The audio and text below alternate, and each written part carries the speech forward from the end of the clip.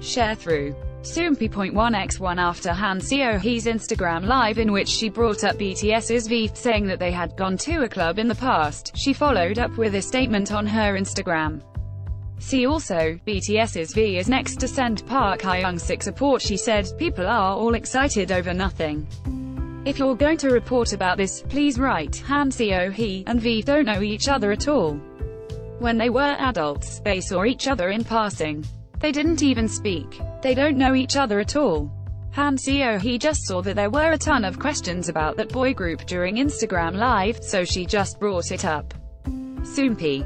Display, News. English .300x250, BTF Soompi. Mobile. English .300x250, ATF A couple of hours later, after appearing to have deleted the first post, Han Seo-hee wrote an apology, I'm very sorry for not restraining myself. I will do my best to begin to understand my impact and influence and become more mature.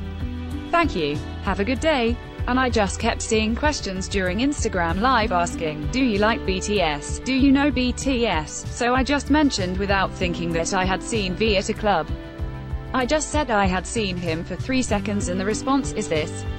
In the future, even if I'm saying something harmless, I'll be careful tilde tilde tilde poor Seo-hee. They say she's a liar even when she's telling the truth. Source 1.